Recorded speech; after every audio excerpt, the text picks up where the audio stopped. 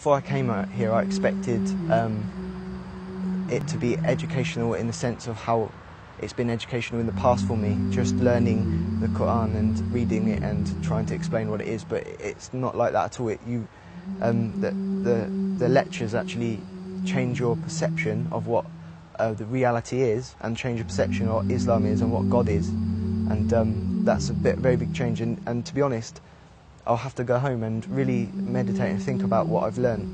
Uh, I'm going to take my religion so much seriously now. Um, and, and live my life in worship instead of living my life and then worshipping. My life will be worship, not I'll set time to worship. My whole life will be worship. We need to love those that the world has forgotten. Have to share the blessings that we have been given. If we see wrong, then we must try to put it right. With the help of Allah.